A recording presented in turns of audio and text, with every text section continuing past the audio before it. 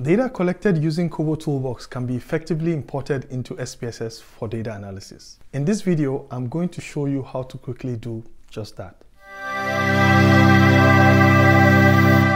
Most researchers now use Kobo Toolbox to collect data electronically on their mobile phones. And after having a good time collecting data, they want to start data analysis. Now, an obvious next step will be to import the data to SPSS for analysis, right? Well, that's usually a walk in the park for most people because they can easily download the data in Excel format. And since they have watched my three minute video on how to import Excel um, into SPSS, the link is above if you haven't watched it, they can easily figure out how to import the CSV data from Kobo Toolbox to SPSS for analysis. Easy peasy, right? Lemon squeezy. Now, unfortunately, by the time they start to run their analysis in SPSS, they quickly discover that something is fundamentally wrong. Yes. Now, if you're watching this and you have been in this situation, I'm sure you know exactly what I'm talking about. Labels, right? Labels.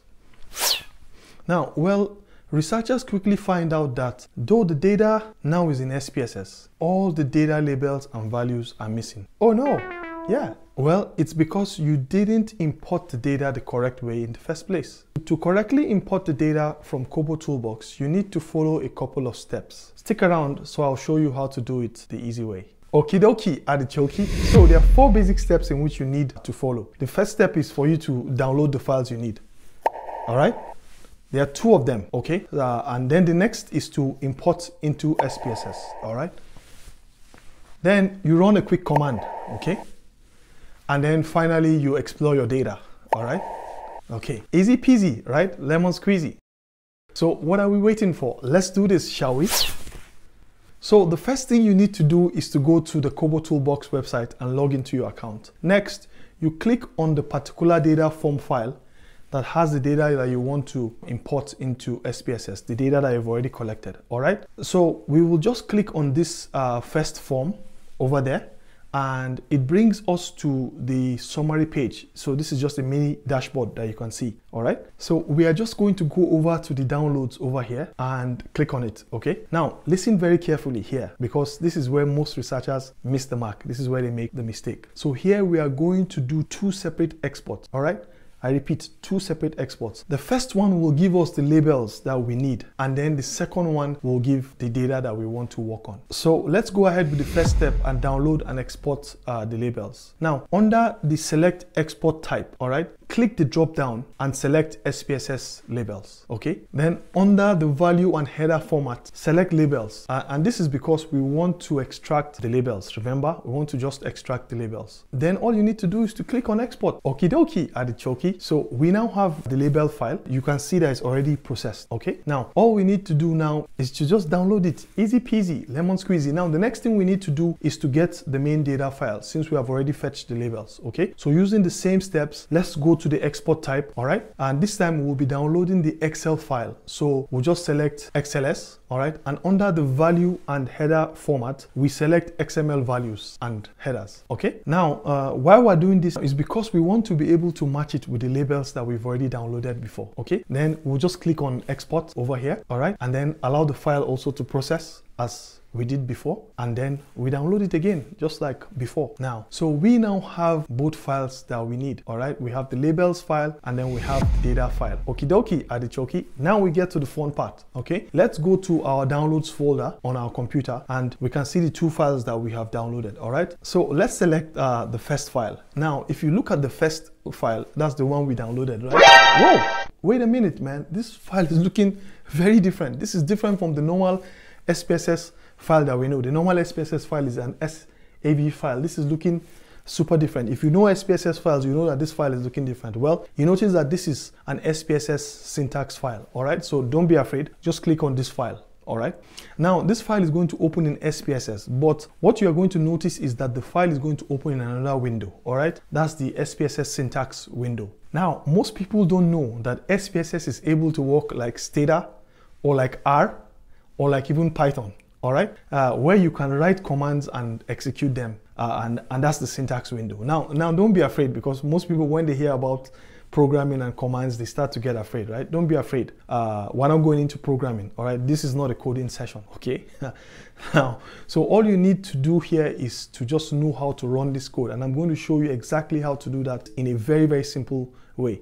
The codes have already been populated for us automatically. All we need to do is to just run the code. That's all. In another video, God willing, I am going to teach you how to write the SPSS code. It's actually very, very easy and it's very, very similar even to English language. If you have been using the SPSS software, you will know that this is actually um, simple to do. Uh, but this time around, all you need to do is just to run the code. So that's what we're going to do. So alrighty, that's the um, syntax window. You will see that all the value labels that we need are actually there, all right? So let's just keep this aside for now and we'll come back to it um, soon. So let's then import the main data, all right, into SPSS. Uh, and that's the second file that we downloaded. And if you look at it also, this is an Excel file, right? Um, so all we are going to do is to import the Excel file into SPSS. And if you remember how to do this, all we're going to do is just to go to um, File, all right, then import data, all right, then check of all the options we have, you're going to choose um, Excel file. Okay, so just choose Excel, all right, and then we're going to um, look for the Excel file. Yes, that's the file there, all right, and then just click on it. Okay, and when you click on it, you're going to see this dialog box um, popping up, all right. All we do here is to just check off the remove leading and remove trailing spaces from string values. And if you do that, just click on OK. And if we do that, we're okay to go, right? Okay, so now we have the Kobo toolbox data in SPSS. Okie dokie, artichoke. Now, alrighty, what we need to do now is to check out this data. If you notice, only few of them have labels. In fact, just maybe like one or two out of the hundreds of data elements that we have here. And if you look, there are no even values at all. So all the values in which we put during our form creation in Kobo Toolbox were not imported with this file. They were actually imported with the other syntax file. Okay, so this data that we just imported is now left without values and labels. And once we run any analysis, we're not going to see these values and we'll just probably see some numbers. Very, very difficult to work with. So what we need to do now is the final step, okay? We will just need to run the code with the labels. And uh, when we run this code, it's going to help us to extract the labels in this code and import them into each and every variable um, in our data file. And that's already in SPSS. So automatically we would have all our labels and you will see it's really, really very simple, okay? So all we need to do now is to go to the syntax window, all right? Like I said, the codes have already been pre-populated for us. They've already been generated, all right? We just need to run it, nothing to be afraid of, all right?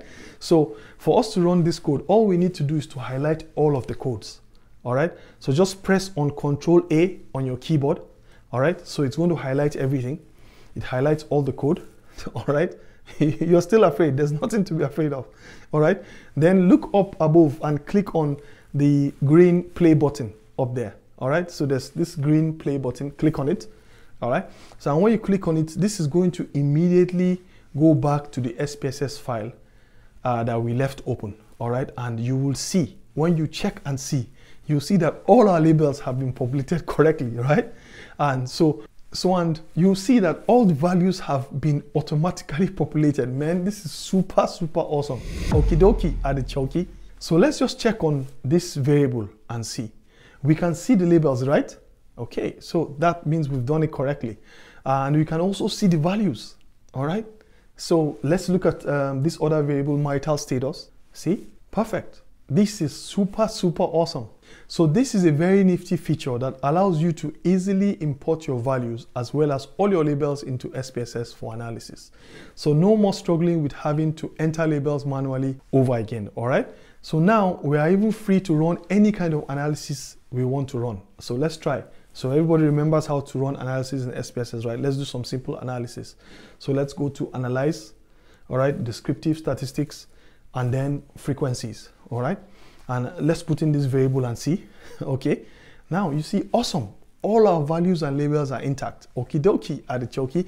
So my Kobo Toolbox researchers continue having lots of fun using Kobo Toolbox to collect data. And when you import your data into SPSS, you don't have to start entering the data values one after the other again. And there's absolutely nothing to worry about. So these values are going to be populated automatically and you can now focus on the big picture.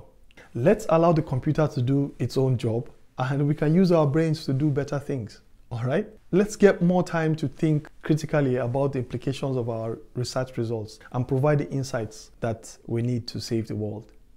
Now, if you want to learn how to develop solid forms, mobile forms with Kobo Toolbox, Xforms, ODK, Ona, iForms, um, EpiInfo Mobile, then click on the link that is popping up above here or check the description box below. And as usual, if you have any requests for any SPSS tutorials, please let me know in the comment section uh, below and I'll add it to the list of my requests that I have, okay? Alrighty, this is how to import Kobo Toolbox data into SPSS for analysis. And God willing, in my next video, we are going to start an entirely new series of data analysis sessions with SPSS.